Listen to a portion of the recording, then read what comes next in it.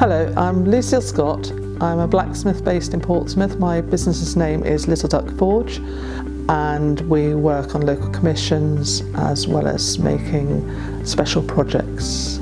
The business has been running for 14 years, although I've been working with metal all my life.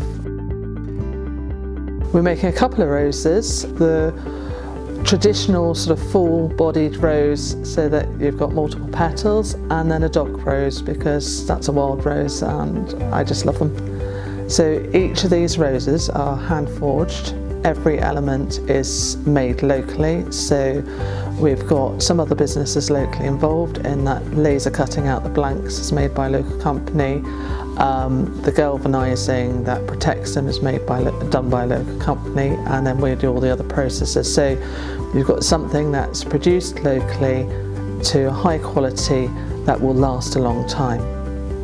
Each rose takes around half an hour in total that's including all the processes that are involved in it. So we start with shaping the petals, welding it together, which is the faster part of the process, and that takes about 15 to 20 minutes. But then after that, they go off to be galvanised, they come back, they've got to be fettled, and then if we're putting coating colours on them and anything like that, that adds to the time. So on an average, they will be coming out around about half an hour each. It's lovely that we are able to support something that again is local to us, and it's a small charity with a fantastic offering. Um, I've had the opportunity to go around Naomi House and Jacksplace.